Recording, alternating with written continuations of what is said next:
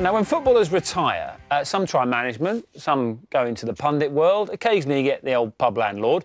Petr Cech, though, is balancing a technical role at Chelsea with a job between the sticks on the ice at Guildford Phoenix. We sent someone who knows a thing or two about hockey for a chat. And this is Petr Cech and Sam Quek. Check and Quek. Check Quek. Let's show you the piece.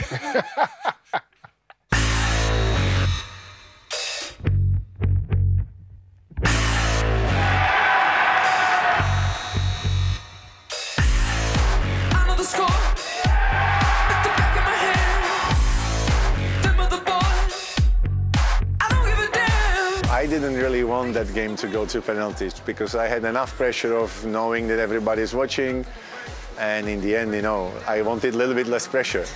So when it came to penalty shootout, that obviously the pressure, I was thinking, okay, now everybody will know that uh, that uh, whether we win or whether we lose, getting the, the play of the match, uh, winning the penalty shootout was a little bit of a icing on the cake. I always wanted to play it as a, as a kid. As a family, we couldn't afford it, so my father took me to football.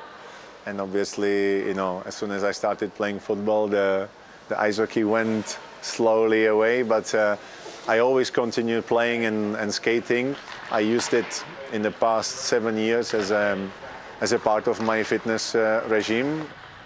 So he was still playing professional football, wasn't he, when he came down here? He was, yeah, he was. And the thing is, I think we kept everything quite low profile, and I think uh, Petr respected that, obviously, so he kept on coming back. But um, he's fitted right into, obviously, the dressing room, the guys that we've got here, um, you know.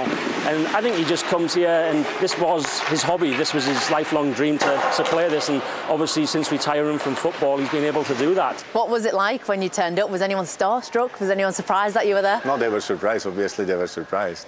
At the same time, they were afraid a little bit that nobody wanted to be the one who would uh, who would hit me somewhere, and then I couldn't play the next Premier League game. But uh, my club knew about that, and uh, you know, I, and I, and I love the game as well. So it was sort of like a, a childhood dream realizing after 35 years and you're still involved with Chelsea.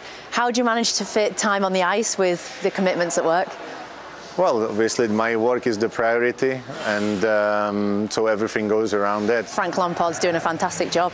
As someone who, who's been at the club for a long time, became a, a legend as a player, and I hope that uh, he can put all this together as a, as a coach. Can I come in? Yes, you can come in. This is cool. Hi, guys. He's one of the best goalkeepers to ever play the game of football. What's he like on the ice, though? Really good. Yeah, I mean, I don't know if it's a surprise. Like he's an athlete, right? Like he's he's good at what he does, so he transfers it over quite well. When he's out there, you don't even know that he hasn't played professional hockey before, so it's quite impressive. Control, control.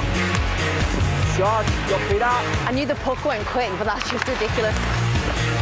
Drop it up. You know what? I'm used to having a hockey ball come at me, but a puck flies. I've noticed as well, is he, uh, is he the only one with a customised helmet? It's very individual. A lot of, obviously, netminders, goalies have their own design. Peter's got the Chelsea on the one side and then the Arsenal on the other side. And I think he's got Dominik Hasek, who was probably one of the best goalies ever to play the sport. That was Peter's uh, hero, I, I believe. So he's got Dominik Hasek on there as well. It's a lot different to football because football's yes. static, isn't yes. it? One shot reaction. So this one is more complex because you sort of meet the player then you have to go, get ready to go down or even move side to side if you have to move. But the players, they have quick hands, so they can actually take you all the way here and then kind of one hand drive it over here.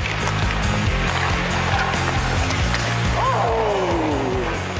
Thank you so much. Thank you. You've been a star.